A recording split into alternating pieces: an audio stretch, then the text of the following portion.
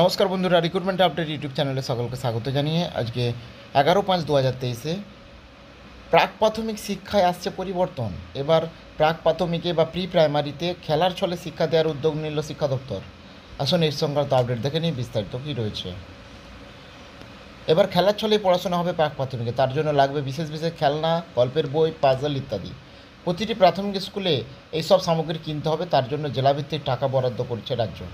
সব মিলে এই খাতে পশ্চিমবঙ্গের সমগ্র শিক্ষা মিশন বরাদ্দ করেছে প্রায় উনিশ কোটি টাকা। কী কী কিনতে হবে তার তালিকাও তৈরি করে জেলাগুলোকে পাঠানো হয়েছে।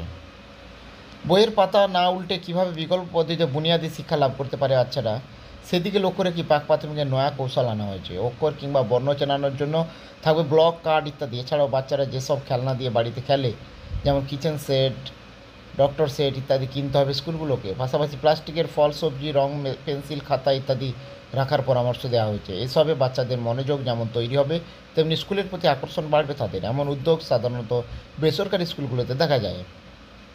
শিক্ষকদের মতে, পাক প্রাথমিকে বাচ্চাদের বেশিক্ষণ স্কুলে রাখা যায় না। যতক্ষণ তারা থাকবে, ততক্ষণ বইয়ের পাতা উল্টে পড়ানো কঠিন এবং খেলনা বা অন্যান্য আকর্ষণীয় জিনিস দেওয়া হলে তা নিয়ে মজে থাকে তারা।